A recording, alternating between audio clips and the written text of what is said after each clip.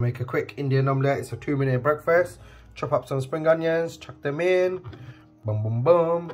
Some green chilies for a little kick.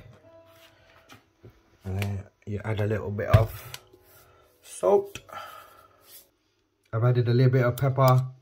And just break the yolks and give it a quick stir like this. Just get it all to mix in. Quite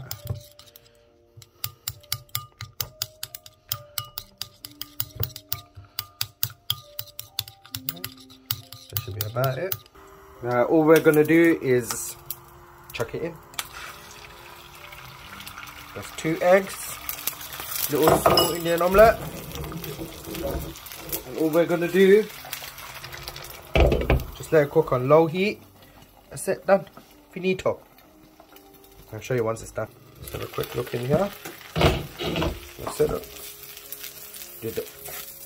Oh, perfect flip. Look, you can see it nice and golden. It's coming out perfect.